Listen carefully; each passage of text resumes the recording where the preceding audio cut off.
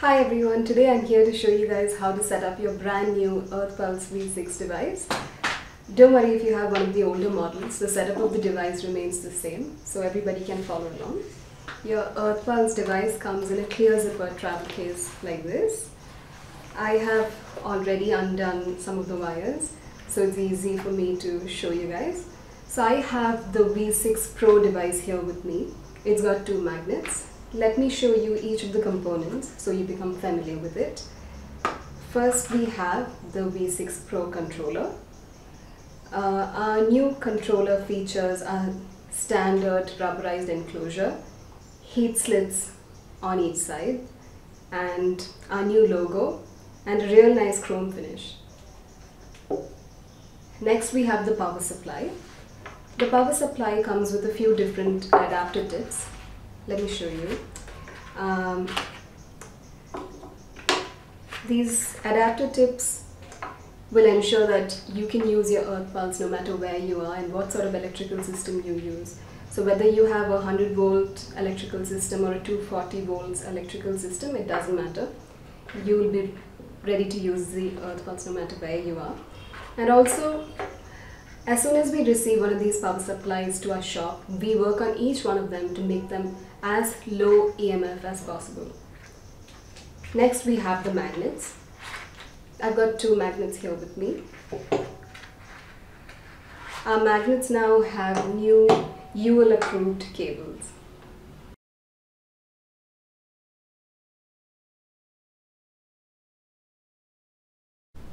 Now we'll power on your V6 device. So for that we will first attach an adapter tip to the power supply. You just have to slide it in like this. So it's quite simple. And now we will plug this into a wall socket. So we do not recommend using power strips because of the dirty electricities. And we've tested most of them and they all tested out to be terrible. So just plug this straight into a wall socket. So I'm going to plug that in.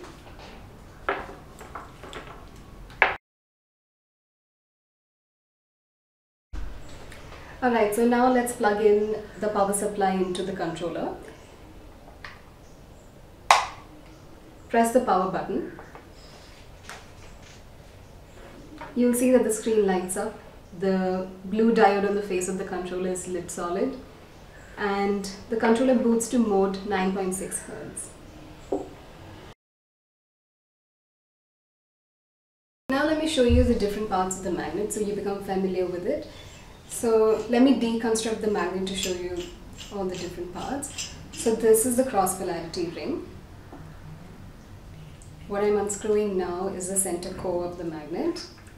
So the core is what holds the magnet together and this core uh, focuses the field and strengthens the field that is produced by the air core.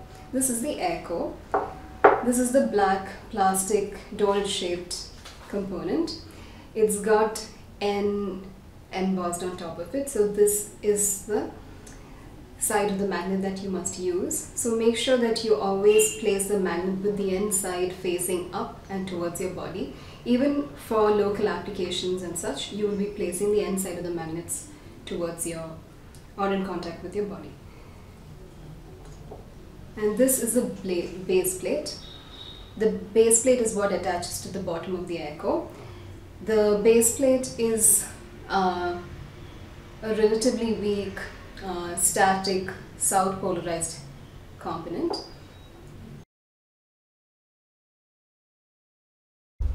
Alright, so now let's plug the magnets into the controller. The magnets go into the magnet output ports. After you've plugged them in, let's press the select start button. It will take you to the timer screen. The time defaults to 8 hours. You can press the up and down arrow keys to set the time. So our time range is from 15 minutes all the way to 12 hours. So once you've set your preferred timing, press the select start button again. You will notice the asterisk symbol on the screen is blinking and also the blue diode on this controller starts blinking. So this is when you know that the controller is active. So if you don't push any buttons for about 30 seconds, the controller screen will go dark so this is a new feature on the V6.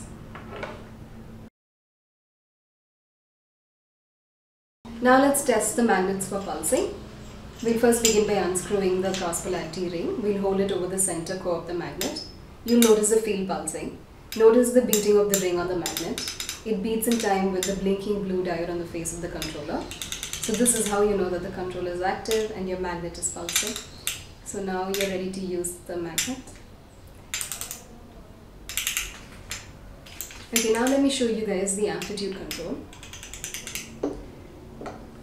So amplitude is basically the field strength. Our default amplitude setting is 70%. So let's press the up and down arrow keys to wake the screen up. Our arrow keys are now made with glow in the dark ink so you can find them easily when the screen is dark and in the night it's easy for you to find them. Um, so we'll first begin by pressing the up and down arrow keys. It'll be at a default amplitude setting of 70%. So you can adjust um, amplitude by pressing the up and down arrow keys to increase or decrease them. Once you adjust them, you don't have to press any other button. So let's go all the way up to 100%. I'll show you how relatively strong the field gets. This is 100% amplitude now. Notice the beating of the magnet, it's so much stronger now compared to 70%. Now I'll go down all the way to 10%. You'll notice how the field gets weaker as you keep going down. So this is a 10%. The field is relatively weaker, so you can try this out for yourself and see how relatively weak or strong the field gets.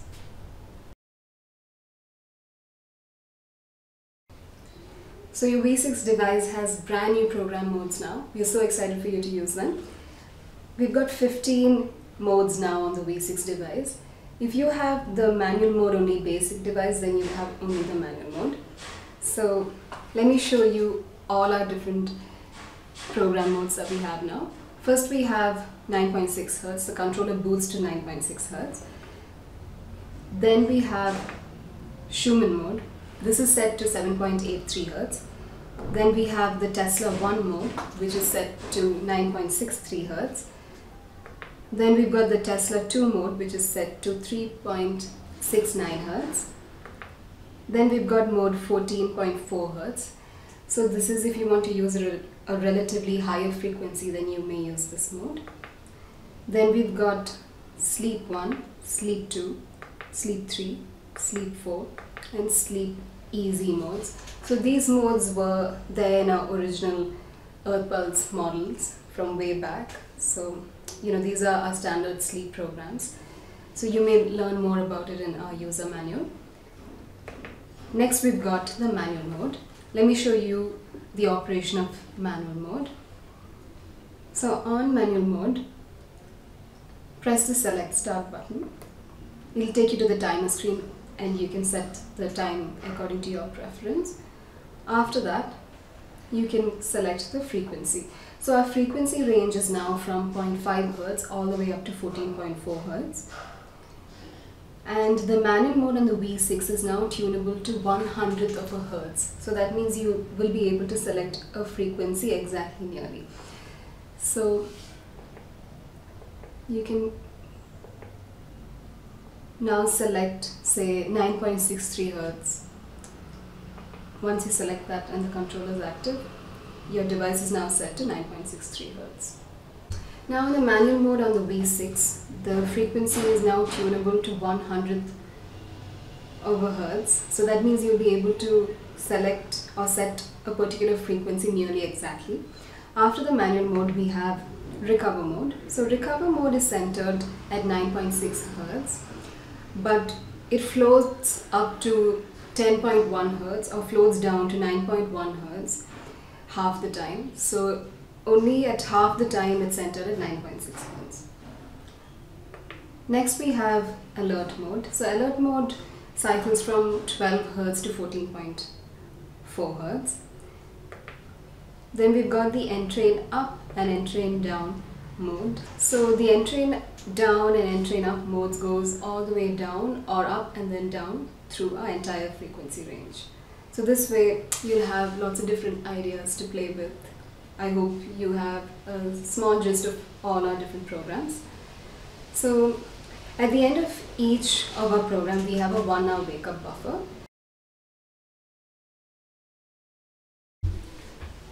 So each mode has a wake up phase that kicks in at about 20 minutes before the end of an 8 hour setting. So if you uh, have sleep 3 mode on uh, and you set it for 8 hours, the wake up phase will kick in at about 20 minutes before the end of set timer. And if this does not wake you up, then the wake up buffer will kick in at the end of set timer. The wake up buffer runs for 1 hour. Wake up buffer is on all of our modes, so no matter how long you set the timer for, the wake up buffer will run for 1 hour. So all our program modes are algorithmic.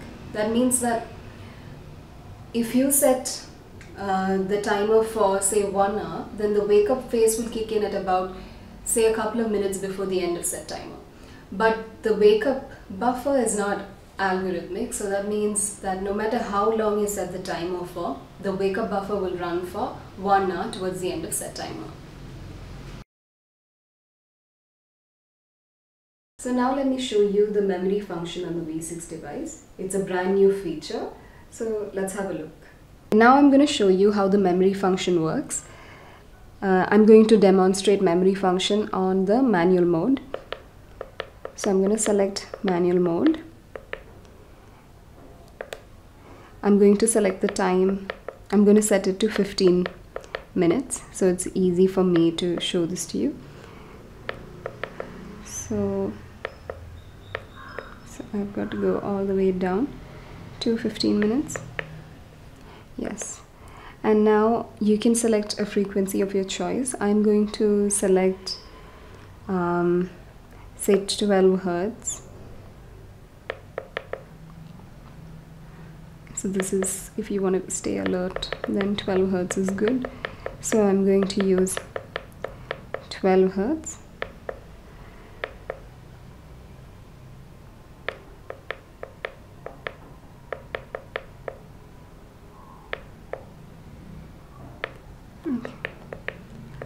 I've set it to 12 Hertz. So let's just wait. The controller is active and it's running. So to access me uh, memory function, all you have to do is press the select start button twice. So I'm going to show you how to do this when the screen goes off. So let's just wait for the screen to go dark. So once the screen is dark, all you have to do is uh, wake it up using the up and down arrow keys. I'm just going to wait till it goes off. So it's gone off now. All you have to do is press the up and down arrow keys to wake it up. So you can see that this is the setting. All you have to do is press the button twice.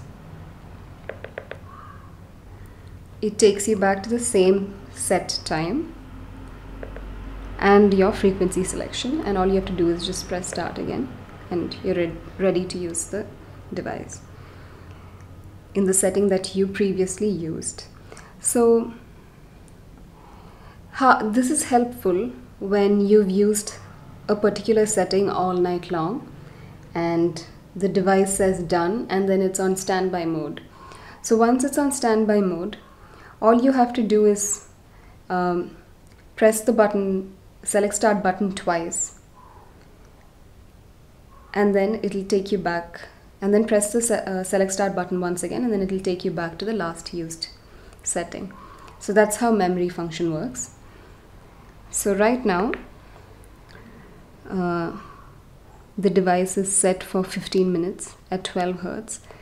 So I'll come back at the end of 15 minutes and show you how the memory function works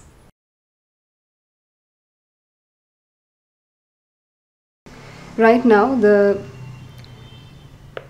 program has finished running its course which is for 15 minutes and the controller says done but the blue diode is blinking because this is the wake up buffer.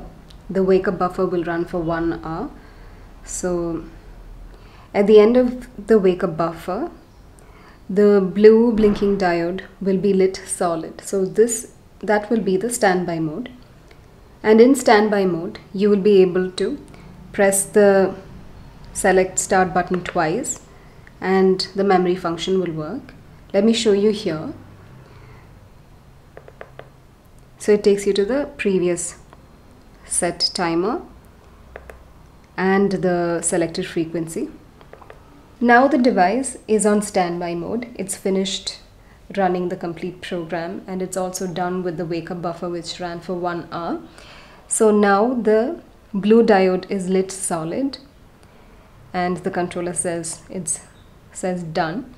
So to access memory function all you have to do is press the uh, select start button twice. So I'm going to wait till the screen goes dark. So that's how you'll probably see your controller like after it's finished with the program and the memory mode. Now the device is on standby mode. So the program that we ran has completed its course. The one hour buffer is done. So usually when you have selected a program that's that is to run all night long and when it's done with the program all in total and once the wake up buffer is also done the controller will say done and the blue light will be lit solid so this is the device on standby mode so to access memory function all you have to do is press the select start button twice it'll take you back to the time selection which is which we had already set for 15 minutes. Then press the select start button again. It takes you back to the frequency selection which we had set to 12 Hertz earlier. Then you just have to press the select start button once more. The controller is now active. The blue diode is blinking and it's ready to use. So this is something that you can do every single night. So, you know, once your program has run its course, once it's done with the wake up buffer, the controller just goes to it just says done the blue diode will stay lit and all you have to do is press the select start button twice to access your last used setting. So this is the memory function. So for a single magnet device, you'll use just the air core under, under the base of your skull. But if you have a double magnet system like me, you will use the air core under the base of your skull. And the second magnet you will use in sleep configuration and you will place this under the mattress under your hips or under your knees and you'll be ready to begin your initial session. Set the controller to recover mode and let the amplitude be at 70% and set the timer for about 1 to 3 hours. This is your choice and you may fall asleep at this time um, or you may not fall asleep, but I assure you that the time will pass by quickly and you'll enjoy. Based on your initial session, you'll decide what sleep program to use for your regular nighttime use. So think of your initial session as a test as well as your initial use. So for your regular nighttime use, you will be using both the magnets in sleep configuration and you'll be placing them under the mattress. One magnet under your upper torso and the other magnet under your hips so I hope you guys will enjoy your initial session. And if you have any problems or concerns, please feel free to write to us at customer support at sleeptech.com. So thank you guys so much for watching and I hope you guys will enjoy the EarthPulse as much as we do. Thank you.